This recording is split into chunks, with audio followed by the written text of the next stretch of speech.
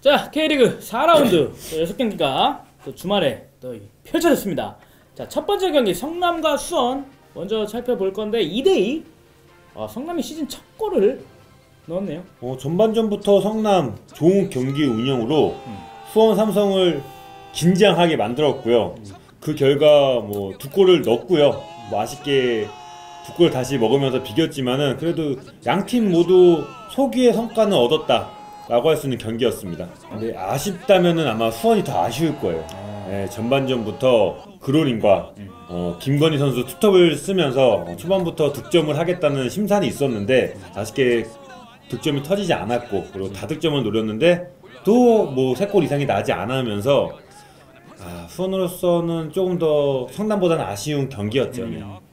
자, 이날 경기는 이제 성남 입장에선 고대하던 뮬리치의 득점이 터졌고 나머지 세 골은 또 이제 성남과 수원에서 22세 이하 선수들이 또 득점포를 또 세 골이나 만들어냈습니다. 일단 수원은 김상준 그리고 오현규 네, 연속골이 나왔는데 특히 이제 김상준은 K리그 데뷔골 그다음에 오현규는 김천 가- 다녀와 상무 다녀와서 수원 데뷔골을 터뜨리면서 어, 수원의 미래를 밝게 했던 두 선수고요.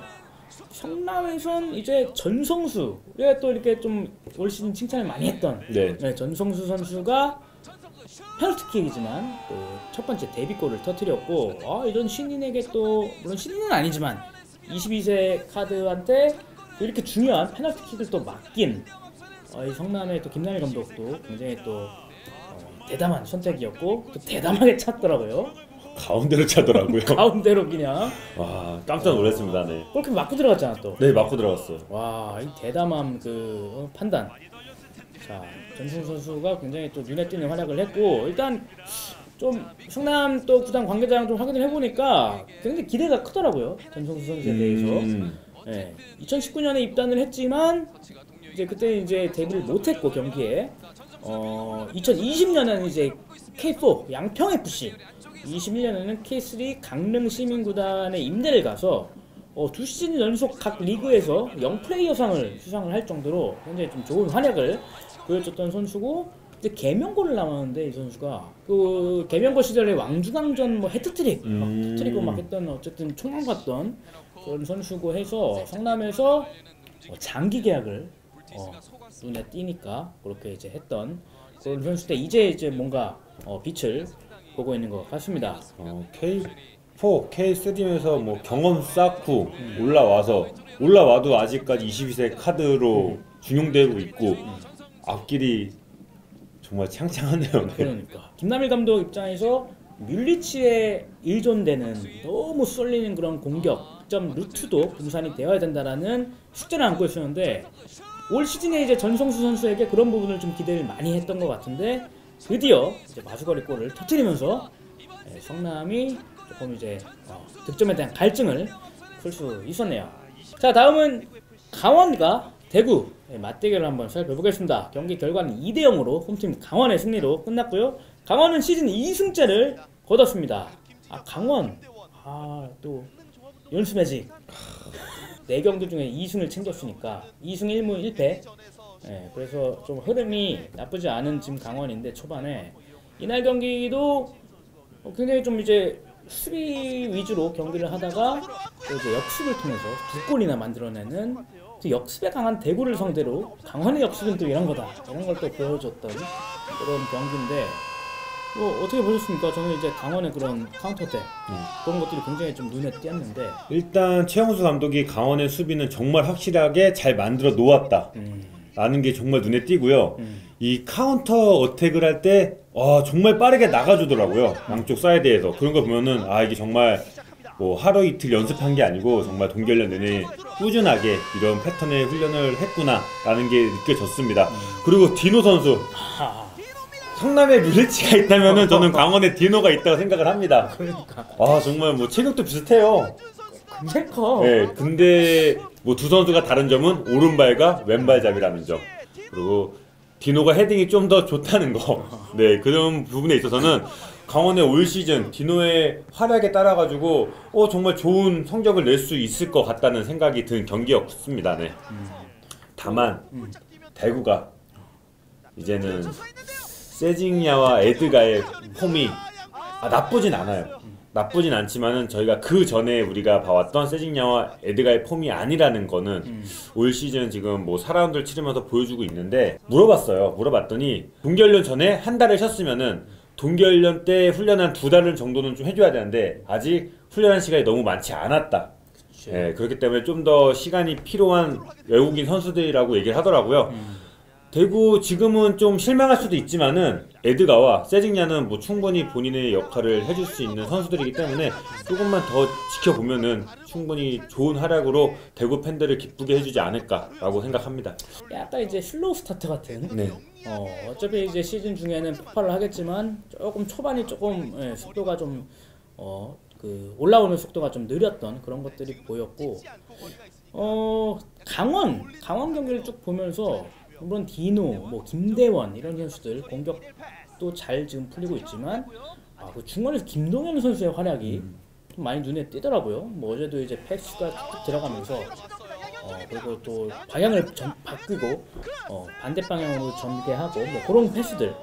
그런 것들이 이제 굉장히 좀 강원의 그 역습의 흐름을 계속 쭉 이어갈 수 있는 그런 역할들을 많이 해주고 있어서 어, 강원의 이제 윤활유가 아닐까 어, 그렇게 생각이. 그리고 가마 감독 대구의 가마 감독 축구 대구도 가마 감독이 오기 전에는 역습 축구였잖아요. 네. 가마 감독은 역습 축구를 싫어한다고 얘기를 했고 전방부터 압박을 해서 전방부터 볼을 뺏은 후에 재차 공격하는 거를 원한다고 얘기를 했어요. 근데 아직까지는 대구의 선수들이 그 전에 축구에 좀 색깔을 갖고 있는 듯한 느낌? 가마 감독과 대구 선수들의 시간이 조금 더 필요하지 않을까라고 생각을 합니다. 네. 자 다음은 이제 인천과 포항의 인천 경기로 넘어가겠는데 원정팀 포항이 1대0으로 승리를 하면서 두 팀 모두 이제 상승세를 분위기 좋은 분위기를 가져갔던 팀인데 결과는 원정팀 포항 김기동 매직이 또 한 건 했네요. 지난 라운드에서 포항이 전북을 잡으면서 와 김규동 감독 진짜 대단하다라고 했는데 와 이날 또 김규동 매직이 또 나왔죠. 그러니까. 와 정말 깜짝 놀랐어요. 네. 개막전부터 6경기를 지금 다 원정으로 치르고 있는 와중에 여기서 승률이 어마어마합니다. 3승 1패. 네. 어, 김천한테 3대 2로 따라갔지만 어, 추가적으로 많이 먹으면서 3대 2로 졌던 경기 빼고는 다 이겼네. 네. 네 경기 모두 득점이 나왔고요. 어, 그러니까 득점을 다 했다는 것도 네. 되게 대단하고. 이게 선수들이 필요할 수도 있어. 저도 뭐 선수 출신이지만 계속 집에 안 들리고 그 짐을 가지고 계속 왔다 갔다 하는 거잖아요. 이러면 선수들이 적응하는데도 힘들 것이고 컨디션 조절에도 애를 먹을 텐데 아 정말 이거는 선수들도 잘하지만은 이 선수들을 정말 하나로 묶은 김기동 감독의 매직이 그러니까. 저는 가장 눈에 띄는 부분이 아닐까라고 생각을 합니다. 그리고 이제 좀 김민영 감독님도 그 원정만 다니다 보니까 선수들이 힘들 거를 좀 알고 그래도 최대한 편하게 그렇게 좀 배려를 해준다고 하는데 뭐 한 가지 예로 뭐 이런 얘기가 있더라고 이 아침 밥 먹을 때도 예. 야, 몇 시까지 다, 다 나와 이게 아니라 10시까지 알아서 먹어라 free하게 free하게 음. 좀 자유를 그런 또 이제 어, 경기 팀 운영 전략 그런 것들을 보여주는 김기동 감독인데 인천은 지금 좋은 분위기 속에서 또 이 패배를 당했네요. 경기 끝나고 이제 인터뷰 내용을 봤는데 아길라르 아길라르 어, 아길라르에 대한 또 예. 조성환 감독의 쓴소리가 한번 있었네요. 근데 사실 시즌 시작 전부터 우리가 이명주 선수가 인천에 영입이 됐다라는 이야기를 듣자마자 아길라르의 공존, 아길라르과의 공존이 좀 어떻게 될까 그런 부분에 좀 생각을 했던 건 사실이잖아요. 일단 여름과 이명주 선수가 중원에서 너무 잘해주고 있기 때문에 중원에 뭐 세 명을 쓰는 것보다는 이두 명으로 경기를 조율하고 양쪽 공격에 좀 더 무게를 두자라는 조성환 감독인데 그렇게 되면서 아길라르가 사이드로 빠졌어요. 아길라르는 본인이 살아남고 싶다면은 사이드에서도 본인의 퍼포먼스가 나와줘야 되기 때문에 좀 많이 보고 배울 좀 선수가 필요할 것 같아요. 어. 저는 그게 김도혁 선수라고 봅니다. 어, 네. 김도혁 선수도 미드필드에서 너무 좋은 자원이지만은 지금 이명주와 여름 선수라는 미드필드가 있기 때문에 사이드로 빠져갖고 플레이하는데 지금 김도혁 선수도 사이드에서 너무 좋은 플레이를 펼치고 있단 말이에요. 음. 아길라르 선수도 아마 인천에 살아남고 싶다면은 이 사이드에서 살아남는 법을 좀 더 생각해야 되지 않을까라고 생각을 합니다. 그날 경기가 이제 좌우 그 측면에서의 좌우 선수들의 뭐 움직임의 폭이 이런 게 좀 차이가 나기는 했었죠. 뭐 그런 부분에서 이제 조성 감독이 좀 쓴소리를 한 게 아닌가 그런 생각이 드네요. 어쨌든 포항은 3승 1패로 울산 다음으로 지금 거의 네. 뭐 높은 순위 어, 3승을 거둔 또 팀 중에 하나가 되면서 굉장히 이제 초반 이번 시즌 리그의 초반 분위기를 이끌어가는 팀이 되었습니다. 자 다음 경기는 이제 김천과 서울의 김천 경기 2대 0으로 김천 상무가 FC 서울을 상대로 승리를 거뒀습니다. 다녀오셨잖아요. 네, 현장에 다녀왔는데 저 이제 한마디로 예, 경기를 이제 평가를 하자면 조기성 미쳤다. 아, 아, 너무 우리가 잘하 되게 잘하고 업그레이드가 됐다라고 계속 좀 말을 나눴는데 김태형 감독님이 이제 끝나고 기자회견 때 아 대한민국에 정말 좋은 선수 하나 나왔다. 이날 터트린 멀티골에 대해서 전혀 놀랍지 않다. 뭐 누가 보거나 안 보거나 꾸준하게 이제 준비를 해왔고 훈련을 많이 했던 선수고 그게 이제 좀 빛을 발하는 것 같다. 이 조규성의 이 정말 잘하는 포인트를 쭉쭉쭉 한번 뽑아왔는데 자 전반 32분 서울이 수비 진영에서 패스미스가 순간적으로 나왔는데 조규성이 논스톱으로 때려버리더라고. 아, 네. 와 그게 이제 양한빈한테 살짝 걸리면서 안 들어갔는데 그때 이제 뭐 너무 갑자기 좋은 찬스 딱 오니까 그리고 당연히 알겠지만 이게 순간적으로 아이씨 내 볼인가 제 볼인가 막 이런 게 있잖아. 네. 거기서 그냥 바로 슈팅을 때려버리는데 와 이 센스. 그리고 수- 정말 35분에는 상대 코너킥 수비에 가담을 했다가 이제 역습 찬스가 났어 이제 지언학이 볼을 잡고 정말 드리블 토플 깊게 하면서 뭐 수비가 어 체크했을 때 넘어질까 말까 하다가 막, 막 끝까지 갔어. 근데 조규성이 그 옆에서 자기 페널티 박스 안에 있다가 반대쪽 페널티 박스까지 진짜 전력 질주를 하고 그러고 나서 결국에 패스 받았고 왼발 슈팅까지 마무리를 하더라고. 뭐 들어가진 않았지만 와 쌕쌕거리면서 마무리 슈팅하고 표정이 되게 너무 힘들어 보이지만 그래 해내더라고 결국에는. 그리고 또 후반 선 13분 첫 골 때였는데 이제 이영재의 정말 그림 같은 침투 패스를 받고 first touch가 일단 좋더라고. 바로 이제 왼발 슈팅 때리기 좋도록 오른발로 딱 터치해 놓고 왼발 슈팅 들어가는데 아 날카롭게 들어가는 게 굉장히 이제 좋은 슈팅이 나왔고 두 번째 골 때도 이제 방향만 바꾸는 권창훈의 오른발 크로스를 어 이제 힘 안 들이고 툭 방향 바뀌면서 골망을 흔들었던 슈팅도 대단했고 후반 36분. 이때는 이제 왼발이었는데 밸런스가 좀 무너지면서도 마치 이제 다리가 굉장히 길었던 뮬리치가 자주 하는 듯한 어, 터닝슛. 터닝슛인데 어, 좀 넘어지면서도 끝까지 하면서 유효 슈팅을 만들어내고 후반 39분에는 정말 경기 막판이잖아 이때는. 거의 90분 풀타임 뛰었을 때인데 자기 진영에서 볼을 잡았어. 거기서 한 단독 드리블로 한, 한 40m 달렸을 거야 드리블 혼자 치면서. 그러면서 오른발 슈팅까지 마무리를 짓는데 이것도 유효 슈팅.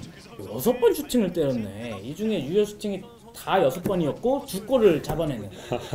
그리고 기자회견 들어갔고 물어봤더니 언제부터 좀 이렇게 자신감이 생겼냐 했더니 이제 뭐 9월 달에 대표팀 처음 뽑히고 그때도 그랬고 일단 이번 1월 달에 대표팀 갔다 오면서 또 그때 또 한 단계 업그레이드가 됐다고 생각이 들고 지금 코로나 때문에 이제 부대에 그 헬스장 네. 문을 닫았는데 음, 그래서 맨몸 운동을 할 수밖에 없다고 하면서 이걸 유지하기 위해서 어, 하루에 턱걸이 네. 15개씩 5세트 그리고 푸시업 20개인지 30개인지 뭐라 그랬는데 그것도 5세트 하루도 빠짐없이 그걸 또 한다 한 경기에 슈팅을 6개를 때릴 수는 있어요. 근데 이 6개가 정말 날카로운 슈팅이 들어갈 수 있다는 거, 다 골문으로 들어간다는 것 자체만으로도 아 정말 많은 생각을 하고 있고 정말 성장을 했구나. 그리고 목표가 있는 것 같아요. 그치 월드컵 예.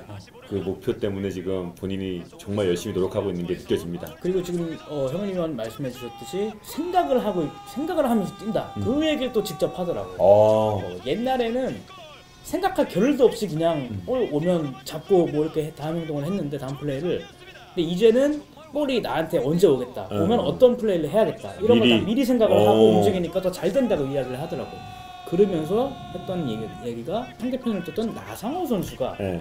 대표팀에서 네. 9월 달이었을 거야. 대표팀에서 뭐 이렇게 하면 저렇게 해라. 뭐 이렇게 생각을 하고 하면 더 잘 될까. 이런 얘기를 또 많이 조언을 아, 해줬다 하더라고. 네. 그리고 또 정승현 분대장님이 어그 TV에서 굉장히 또 수비해주면서 어, 아, 어, 어, 어, 좋은 얘기를 많이 해줬나 봐. 이렇게 네. 플레이를 저렇게 플레이해라. 네. 그리고 그런 조언들이 굉장히 도움이 많이 됐다고 음. 또 어, 고마움을 전했던 조규성 선수였습니다. 자 서울 서울 어떻게 보셨나요? 서울이 조금 이제 시즌 첫 패. 그렇지만 세 경기 연속 지금 승리가 없습니다. 경기는 압도하죠. 네. 네, 경기는 압도하고 패스 성공률도 높고 패스도 많이 합니다. 음. 아, 서울도 아쉬운 게 최전방에 아 스트라이커. 지금 조영욱이 터져 줘야지만 되는 서울인데 조영욱 선수가 잠시 주춤을 하고 있죠. 그렇죠. 그러니까 개막전 승리했을 경우에는 조영욱이 터졌고 네, 그 이후에는 지금 스트라이커 위치에서 득점이 나오지 않다 보니까 네, 어, 조금 고전하는 지금 상황으로 넘어가 됐는데 어, 서울 팬들이 원하던 그런 스트라이커 부재가 또 이런 또 어, 경기들로 나타나지 않나 또 지동원 선수 어, 지동원 선수가 또 부상으로 나갔는데 네. 들어왔다가 재교체를 당했는데 작년에 한국에 들어와서 훈련량이 부족해서 본인이 퍼포먼스를 못 보여줬다. 고 생각을 했고 동계훈련 정말 착실히 훈련했다고 들었어요.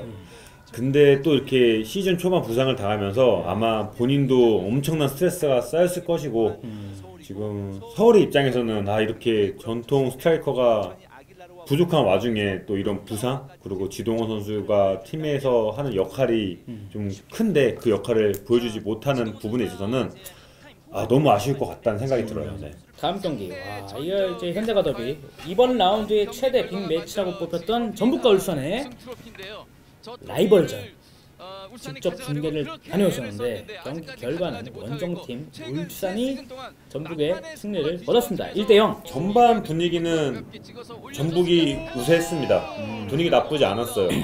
그러니까는 전북이 그전 라운드에서 포항이랑 했을 때 정말 무기력한 경기력은 나오지 않고 울산 한번 잡아 보겠다는 심산으로 정말 초반부터 강하게 울산을 몰아쳤고 울산도 당황을 하긴 했어요. 근데 울산도 정말 우승 후보다운 베테랑 선수들도 많고 정말 짧은 패스에 능한 선수들도 많고 경기 자체를 재밌게 이끌고 가면서 결론적으로는 울산이 승점까지 챙긴 경기다. 전북으로서는 상당히 아쉬운 경기였다. 팀 플레이적인 면에서 보면은 울산이 전북보다 훨씬 좋았거든요. 지금 전북은 개인적인 스타일, 개인의 능력으로서 경기를 풀어나가는 느낌이 아주 강한 팀입니다. 중요한 건 슈팅이에요. 슈팅이 많이 나오지 않아요. 이날도 전북이 슈팅 8개 때렸는데 유슈팅이 3개였어요. 자, 앞전 경기에서 김천의 조규성 선수가 혼자서 6, 6개의 유슈팅을 때린 거랑 비교했을 때 전북은 정말 슈팅 자체가 안 들어온다는 거 네, 슈팅 자체가 없다는 게 가장 전북의 큰 부분이 될 것 같고 조규성 저녁이 9월이잖아요. 그때까지 시간이 너무 길지 않을까요? 네, 울산은 정말 바코, 이청용, 아마노 이 세 선수가 진짜 위치에 구애받지 않고 계속 움직여주면서 짧은 패스에 정말 강한 강점이 생긴 팀이에요.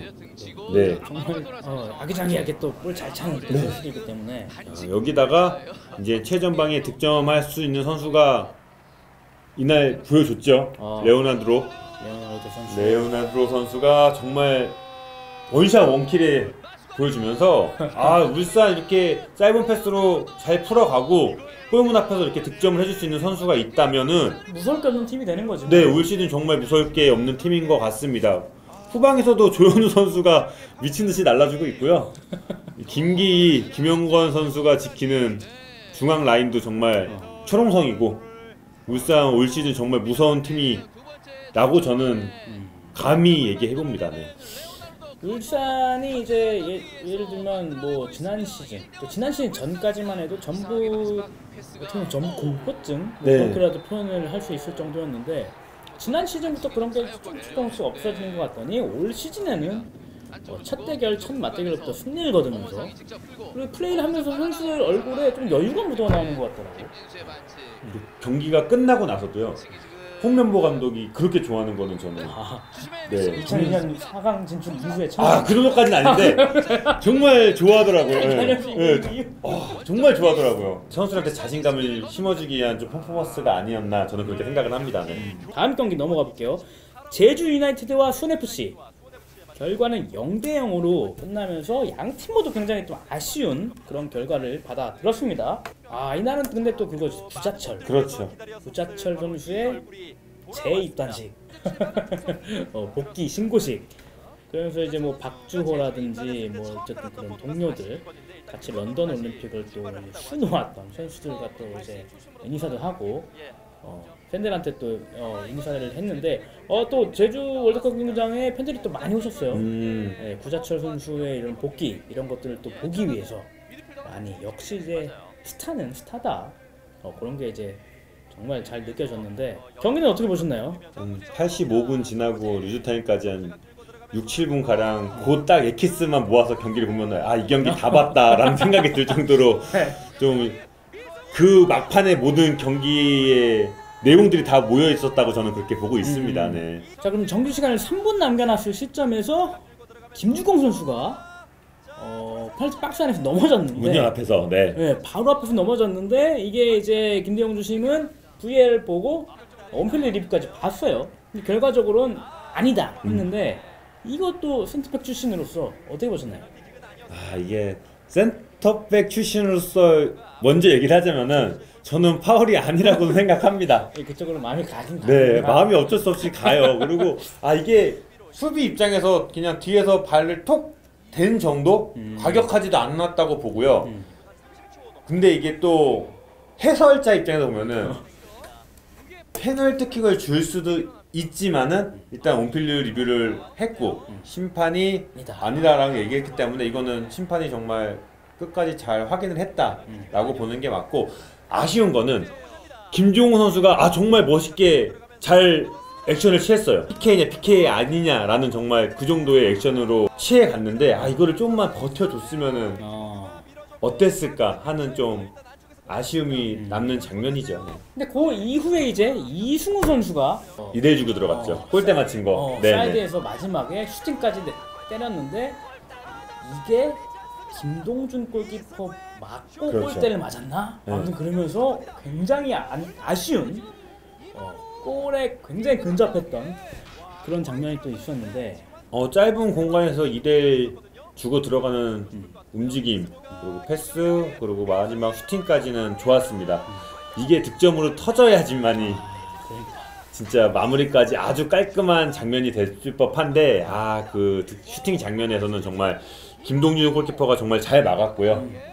뭐 이승호 선수는 아쉬울 수밖에 없죠. 본인이 지금 득점만 터지면은 본인도 더 많은 자신감으로 어, 경기를 이끌어갈 수 있을 거라 생각을 했기 때문에 상당히 아쉬운 그 표출을 경기장에서 보여주었죠. 네. 그리고 또 그 아쉬움이 뭐 데뷔골 그런 거 무산된 거 그것도 있겠지만 지금 손FC 팀 사정이 3연패 뒤에 만약에 그게 들어갔으면 이제 시즌 첫 승을 거두는 건데 또 시즌의 첫 승이 또 어, 다음 경기로 또 어, 연기된 거니까 그런 부분에 대한 또 아쉬움 승점 1점에 그친 첫 승점이긴 하지만 그런 부분에 대한 아쉬움도 있었던 것 같네요.